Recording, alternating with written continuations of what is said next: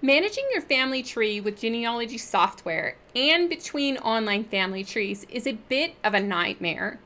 However, of the two programs that I have discussed earlier on this channel, Family Tree Maker and RootsMagic, which one is better at keeping place names in your family tree cleaned up? Howdy, welcome to Family History Fanatics. If you're new here, my name is Devin and I love helping people find meaning and connections through their family trees. It's not always easy or quick, but it's always worth the effort. Check out the helpful links in the description box for more ways to learn how to climb your family tree. So should you even bother cleaning up place names in your family tree? Whether to clean up place names depends on how you do genealogy research. I strive for accuracy, consistency, and shareability. Consistent place names help future researchers and me right now know a specific location for an event in my ancestor's life. It takes away the confusion. It also allows for a deeper analysis, such as how many ancestors married in the same location. This could lead to more genealogy clues, and who doesn't want that? For that reason, I do work to clean up my family tree and migrate a master copy of my relatives to both FamilySearch and to Ancestry. To compare the tools on Family Tree Maker and RootsMagic, I used the same initial family tree in both programs. I calculated the time spent cleaning up my trees and then syncing them to FamilySearch and Ancestry. And here are a few things I found. Set aside the fact that syncing our tree with FamilySearch is a time consuming problem that neither Family Tree Maker nor RootsMagic can resolve. It's just the nature of the Family Search collaborative program. But RootsMagic wins with writing to FamilySearch because at the time of this video, Family Tree Maker can only read data from the free website, not write to it. With Family Tree Maker, you can turn on the auto syncing feature to Ancestry. Then Family Tree Maker will update Ancestry after you make each change. If you turn off the auto sync feature, which I tend to do when I'm doing a lot of changes, you can then batch process all of your changes at once. That process is quick and easy. By contrast, RootsMagic does not seem to have a rapid sync feature with Ancestry. Their tree update feature requires manually reviewing the changes for each person.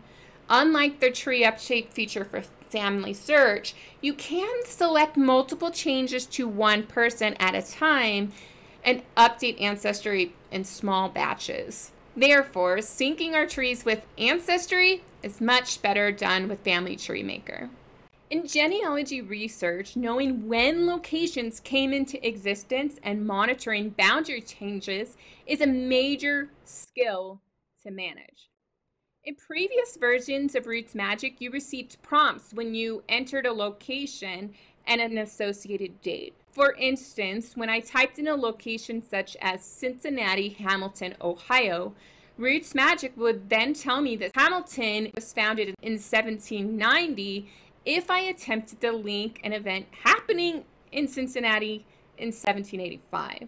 But meanwhile, in my experiments with Family Tree Maker, it doesn't have these type of prompts when you're putting place names into your database. Therefore, learning about historical place names is typically better with RootsMagic. Given there's no standard place names in the genealogy industry, genealogy software companies have to make a decision.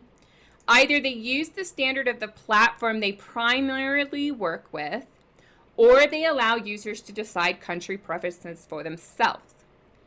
While RootsMagic may have historical place name prompts, they do not force you to use either historic or modern location names in your tree. For instance, you can have a place name of Baden without Germany tacked on. And this would serve for when it was the Duchy of Baden before German unification in 1871. By contrast, when you run a place cleanup on Family Tree Maker, it attempts you to force modern place names into your family tree. If you attempt to use British North America, Upper Canada, Baden without Germany, you will see prompts telling you the place names needs to be standardized and will give you suggestions. Additionally, the place name sorting feature does not nest smaller political lo- locales under the country of Baden. So you're not going to have Baden and then smaller unit, smaller unit, smaller unit, or Upper Canada, smaller unit, smaller unit. It has to be Canada and then it can be Ontario. It has to be Germany and then it can be Baden and then the smaller locations. While I understand Family Tree Maker is using the Ancestry platform standard for members' trees, it's frustrating for users who wish to have historically accurate place names. Since they do not force you to use one place name practice over the other, RootsMagic is better for your country naming preferences.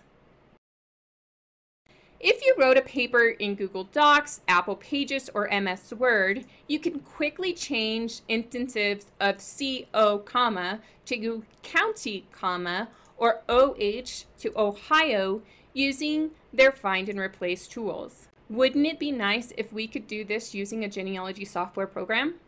well, we can. RootsMagic has this feature, and I haven't found it on Family Tree Maker. The rapid find in place feature was super helpful in converting TWP to township, or vice versa, and TX to Texas. It's also helpful if you're trying to standardize county, so you can take county out, you can add county in, and then you can standardize CO to county and so forth. Find and replace is a time saving place name feature only available on RootsMagic. While typing in new place names into your database, another helpful feature involves being able to update place names as you work without having to go to the place name list. Family Tree Maker has this feature and it doesn't appear that RootsMagic has it, at least in my trials. While cleaning up thousands of place names in my family tree, I looked at a profile in Family Tree Maker and noticed inconsistent locations for one ancestor in all the events in their life. I could edit the place name on the specific relative's profile, and as I changed each one, Family Tree Maker would ask, do you want to change only this instance or all of the instance of that previous place name at the same time?